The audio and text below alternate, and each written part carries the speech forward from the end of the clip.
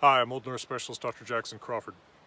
In the Eddas, our primary sources for Norse mythology, the rainbow is referred to as the bridge from Miðgarður, the middle enclosure where human beings live, to Osgarður, the god enclosure where the gods live. The name of the rainbow is in fact given in two different forms.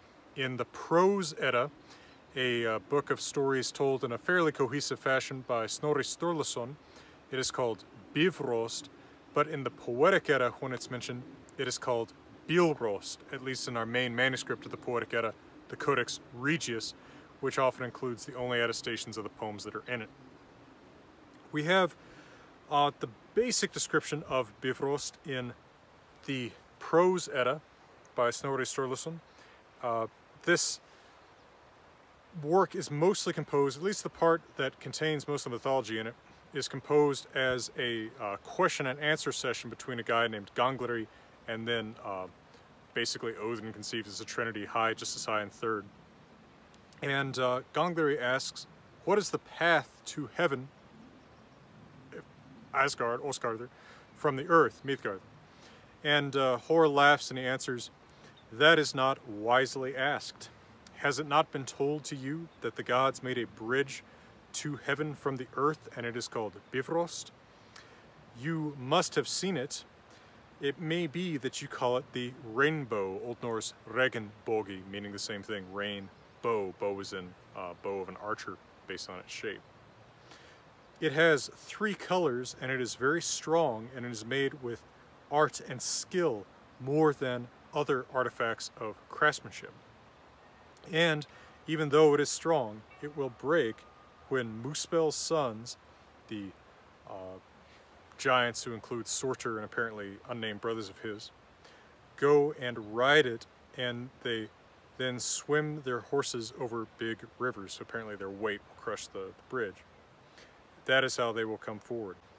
Now Gangleri says to Hor Hai that uh, it seems to him that the gods didn't make this bridge well if it's going to be able to break when it seems to him that the gods can do what they want.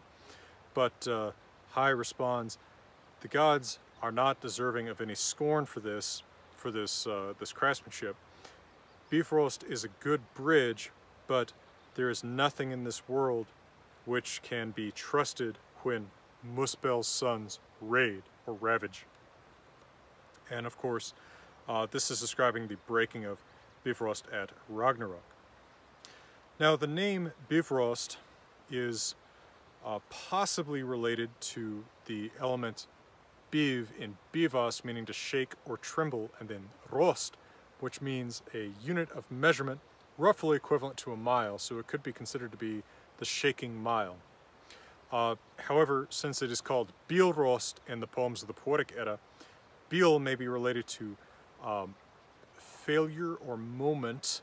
Uh, this is a word that ends up meaning uh, something that kind of winks in and out of existence. Uh, Odin's Bil Oiger seems to mean uh, like failing eyed one. That's one of his names. So it could also be the sort of the blinking mile, the, the winking in and out mile. I'd say that's a fairly uh, plausible explanation for it. And yet the name that Snorri gives it in the prose of Bifrost is the name uh, that's come to be more famous today. It is mentioned in two poems of the Poetic Edda. Those are Grimnismal, where it is called the best of bridges, alongside, for instance, Skithblathnir being called the best of ships, Odin being called the best of gods, naturally because he's the one saying this, uh, Habrok, the best of hawks, etc.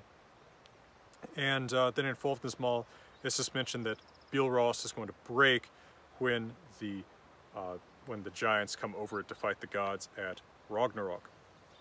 It is also sort of obliquely referenced another place in Grimnismal, stanza 29, where we read that the gods, well, Thor in particular is going to have to cross a few particular rivers, Kormt and Ormt, and two rivers called Kerlaug, uh, to go to Yggdrasil for the meeting of the gods. And the Osbru, meaning God Bridge, will burn all over with flame, Bren Loga, and the holy waters will uh, probably seethe or possibly roar. That verb hloa hasn't been suitably explained. And uh, Gangleri, in fact, asks about this, about whether the bridge burns or is on fire, he asks in the Prose Does fire burn over Bifrost? And Hai replies, That which you see as red in the bow is burning fire.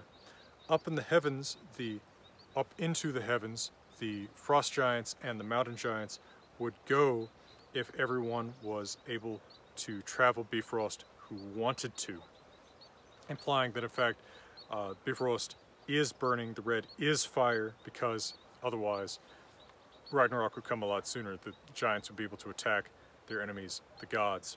But the fire protects the gods, just as the wall around Oskar partly protects them from their enemies, the giants, as well.